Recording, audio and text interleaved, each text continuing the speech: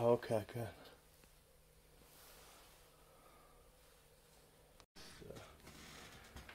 Full bathroom. This is the.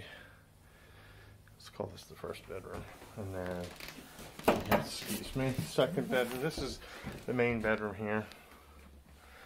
It's kind of taking a little.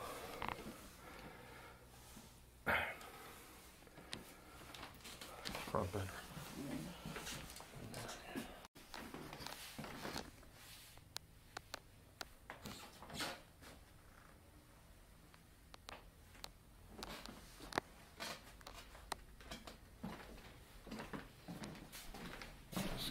Here, scoot right by.